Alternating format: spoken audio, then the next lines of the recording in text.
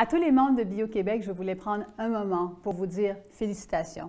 30 ans, 30 ans. Moi, je, je vous vois et vous côtoie depuis, euh, depuis plusieurs années et j'aimerais dire à quel point vous jouez un rôle essentiel, évidemment dans le domaine des biotechnologies, des sciences de la vie, mais surtout au sein du Québec parce que ce tellement c'est tellement un secteur qui, euh, qui est névralgique pour nous. Alors, merci du leadership que vous avez assumé dans les 30 dernières années et j'aimerais quand même dire que pendant la dernière année, la pandémie n'a pas été facile, mais vous avez été capable de vous revirer de bord, vous avez été capable de faire des webinaires, vous avez été très actif sur, euh, sur les médias sociaux. Alors félicitations et longue vie à Bio-Québec.